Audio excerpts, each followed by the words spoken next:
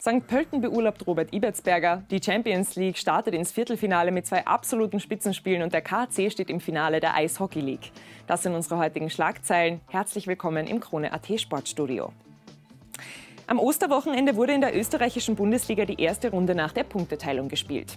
Dabei hat Rapid nach 2008 an einem Ostersonntag wieder einen Kantersieg gefeiert.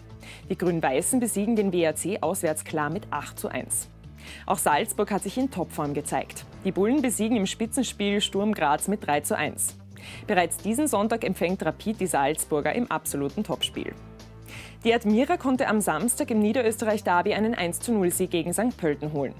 Die Südstädter ziehen damit in der Tabelle mit St. Pölten und Altach gleich. Für St. Pölten war es die neunte Heimniederlage in Folge. Die bisher eher schlechte Saison für St. Pölten hat Folgen mit sich gebracht.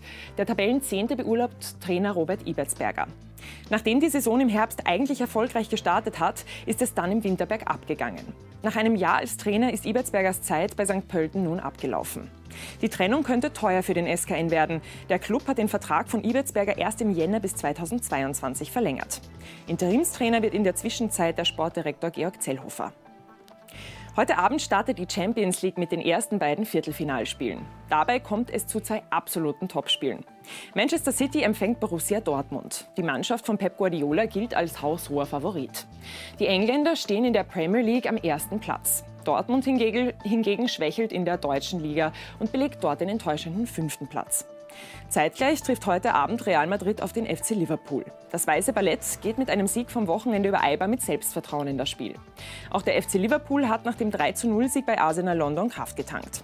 Mit dabei sind sie natürlich heute Abend im Live-Ticker auf krone.at. Nach David Alaba wird nun auch Jerome Boateng nach zehn Jahren den FC Bayern München verlassen. Der Vertrag, der zum Saisonende ausläuft, wird nicht mehr verlängert. Der Innenverteidiger hat zehn Jahre lang zur erfolgreichsten Bayern-Mannschaft gehört. 2013 und 2020 hat er unter anderem gemeinsam mit David Alaba das Triple geholt.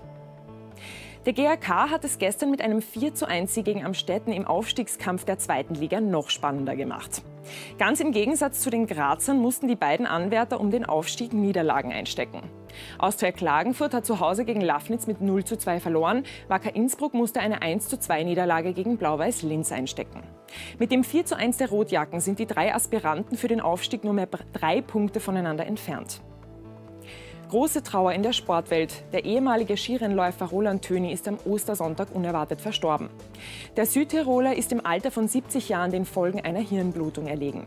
1972 hat er bei den Olympischen Spielen in Sapporo den größten Erfolg seiner Karriere gefeiert. Er hat im Slalom die Bronzemedaille gewonnen. Der KAC ist als erstes Team ins Finale der Eishockey League eingezogen.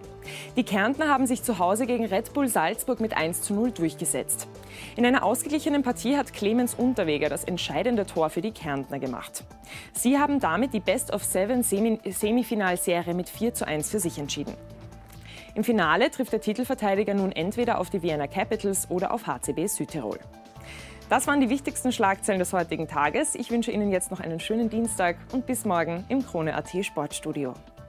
Boom, boom, boom.